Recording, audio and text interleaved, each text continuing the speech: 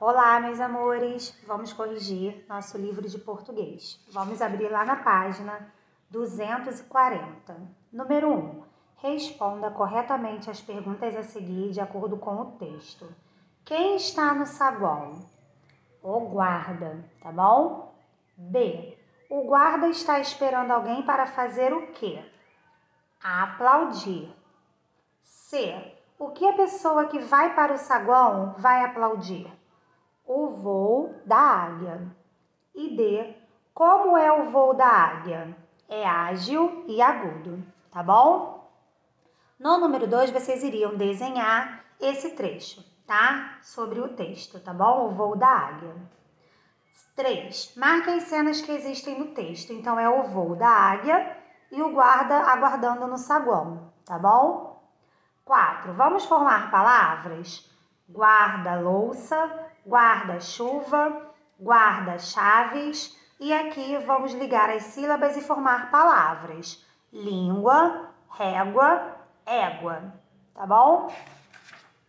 Na página 242, vamos escrever o nome das figuras, tá? Nas linhas abaixo. Então, ficou água, guaxinim, guarda-chuva, régua, língua e égua, tá bom?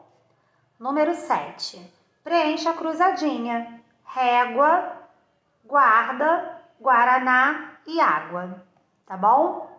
E aqui no número 8, nós iríamos escrever de um lado as palavras com guó e do outro palavras com guá. Então ficou água, enxágua, ambíguo. E com guá, égua, água, jaguatirica, tá bom? E no número 9, nós iríamos ordenar as letras e formar palavras, tá? Então ficou Guará, Guaraná e Guaxinim, tá bom? E aqui nós iríamos responder de acordo com o trecho que nós lemos. Qual animal encontramos no texto? O lobo guará. O que, ele, o que pediu o Chapeuzinho Tropical ao lobo guará? Para ele uivar em seu ouvido, tá bom? Essa foi mais uma correção. Até a próxima, meus amores. Um beijo.